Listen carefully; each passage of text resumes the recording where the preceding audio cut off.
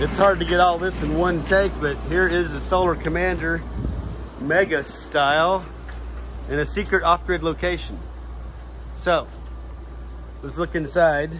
Okay, okay, inside the container we have 64 golf cart batteries that are well beyond their life.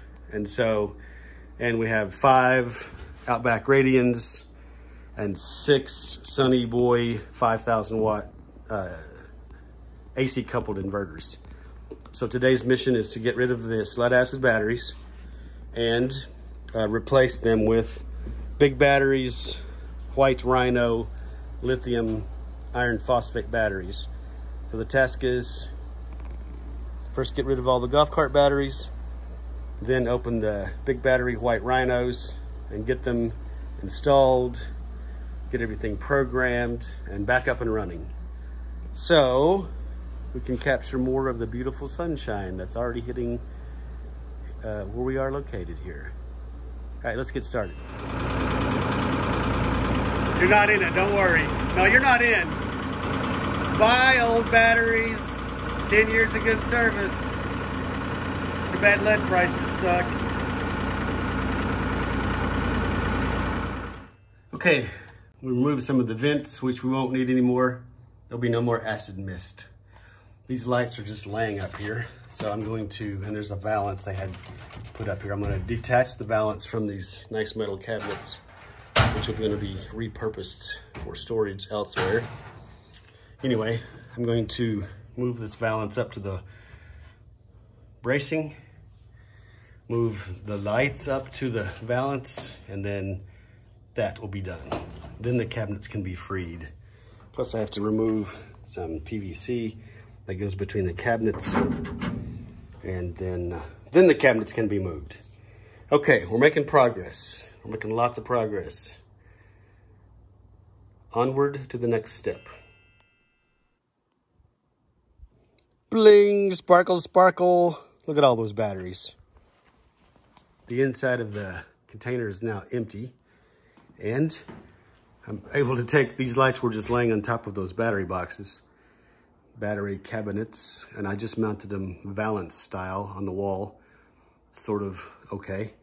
And then um, I'm going to do some cable management with those AC wires for the lights. Sweep up the floor, move the um, White's Rhino batteries in here. There's gonna be four of them, two on each little rolly cart. And that'll get us two here and two there. Um, I didn't initially install this system, so I wouldn't have made some of the uh, implementation choices that were made here. But I did inherit this system and I have made it work by programming everything correctly. And um, it, it, does export power and does provide backup power. Uh, specified a generator. He had that installed, a giant Generac. Also added or replaced. There was a, a different um, mini split in here, but it died because the acid mist ate through the uh, interior unit. Evaporator or condenser? I always forget which one's which. You can tell I'm not an AC guy. But anyway, that was recently replaced. And um, to get heating and cooling in this space so that the batteries can be happy. All right, let me get a broom, clean up this mess in the floor, and then get those big batteries rolled in here. I think they're 600 pounds each. How do I get roped into these things? Oh well, we got diesel fuel to move them, so happy times. All right, here we go. Next step. Diesel does the work. Lift them up, put them exactly right there on the lip. They should roll right off into the space. So, yes, no arms were harmed in the making of this video. Let's go. So thankful to have a nice John Deere to move these batteries. Here they are, rolled out and unwrapped. Big battery. These batteries are big. Uh, like four foot long or so, I'm not sure. And technically, oh, let me switch to a wide view. Yeah, technically we actually have two batteries. This is one white rhino and this is another one and they're attached to this cart, uh, battery rolly cart with nice wheels. And so then there's two there. This will get connected to this home run going back. And then on this side, I Already opened it up and uh, opened this cover up. There's Anderson connectors at Anderson 175, SB 175. And so this will go plug, this will plug in here. Then I'll replace this cover. These cables will go up to some bus bars, which will be mounted, believe it or not, to a two by four, which I'll call the chair, chair rail. A two by four mounted to this container to make a chair rail at the same height as the battery. And then I'll take this apart. This is what came with big battery. I have another set of a different style, but similar concept. I'll mount that to the 2x4. These cables will come down nicely loop, get cut to length, re, re-lugged with new lugs. These lugs were exposed to acid, so they're, they may be wet inside. I'm not sure. Anyway, redo them. So then our home run for these two batteries will be set. Now, I believe the plan in the future is to get four more of these. And so this cart will roll up against the wall. The next two will roll right against here. Uh, and then the Anderson connector will reach to the bus bar. So, big picture, planning ahead. I'll plan on enough bus bar, enough of these bus bars to catch everything. All right, get that chair rail installed and get on with the next step. Okay, it's getting serious. Not really. Uh, I got the lug box out and I cut these 4-aught coppers to length. I'm gonna curl around to the bus bar like this. Oh, why am I showing you this one? I already finished this one over here. It's gonna be easier to understand.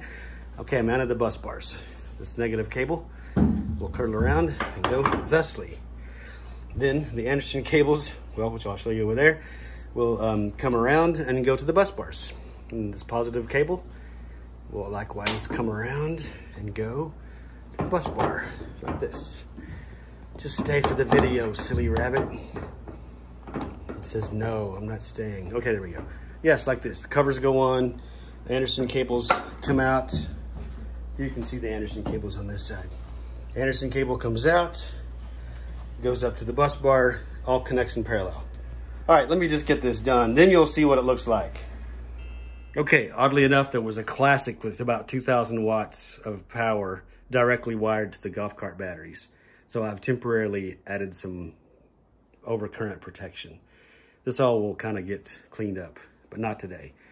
You see I have the Anderson connectors waiting. I'm gonna check all the battery voltages, all four of them, to make sure they're all the same.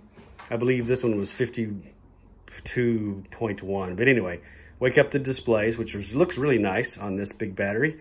Plug them all in, then activate the uh, grid on the outbacks to get the battery charging to start. And then that will be a wrap, plus about an hour of cleaning up all the loose ends laying around here. All right, signing off. Hold on. It's going to happen right now. Okay, I really like this little tiny computer display. It even has the touchscreen. I can touch status here figure out how many amp hours are left, get the advanced screen where I see the voltages of, of each battery cell inside this 16S configuration. And then main, uh, I can actually do, uh, let's see, where did I touch this? Let me find where I touched it. Uh, oh yeah, power button again. I can actually turn the discharging circuit on and the charging circuit on or off. So discharging off means the battery goes off and there's no voltage here. So that's kind of nice. Okay, all the voltages are close enough together, so I'm gonna plug them in and get started charging. Okay, doing a big load test. I think it's 11 kilowatts. We're taking 70 amps out of that one, 60 amps out of that one, 60 out of that one, and 62 out of that one. They're all at different percentages of charge right now because we haven't finished a full cycle of charging. And then the mate, which I took off the wall here, is, um, let's see what we're doing there. Okay, here we go. Yeah, 12.3 kilowatts. That's a pretty good sized load for such a size battery as this. I have the generator turned off so we won't start under this load. So, a bit more programming and we'll be back on track. Okay, now let me go to the out uh, the uh, big battery website and look at some basic settings. so I can record them. Here we go, right here, right here. And then I can uh, calculate these into settings for the Outback Radian to make a working system. I have to edit all five of the Radians, but this is what we'll do next. Okay, we got that resolved. We got a little bit of a voltage drop with this long wire run and the way that's bust in. Someday I'll make that correction too. So here we are. Okay, we got back and that's working. All right, here we go. Bling, sparkle, sparkle. Oh, I forgot the propane tank. All right, so finished. Big batteries are installed. Uh, it's great. Uh, we got the lights up there. That's not too obnoxious. And classics back up. Bus bars. I need to install those covers. Uh, that's the last cleanup item. I see that. Two big batteries. Actually, four big white Rhino big battery batteries. They are big. This is like four foot wide here. All right, great. Got some parallel cables. Those covers won't go back on, so I'm gonna actually replace those bus bars that came with the batteries with the ones that match this style where I can put covers on them. And then the Outbacks are happy. They're charging now. Uh, the Sunny Boys, this is an AC coupled system, so the Sunny Boys are on. I'll probably sneak out here with all this. Here we go. The Sunny Boys are mounted on the outside here, outside of the container, under this uh, roof. The container is sitting under a carport, I guess. And so there are the six Sunny Boys. And then these Sunny Boys are connected to uh, six arrays. So, yes, this is a real nice system. It's a ginormous solar commander. There's a pile of trash needs to be picked up. Get on that, somebody. I mean, that's me. All right, that's a wrap for the day. Thanks for watching and big batteries. You know I'm gonna say it next. I like big batteries and I cannot lie. I had a good time today. See y'all later.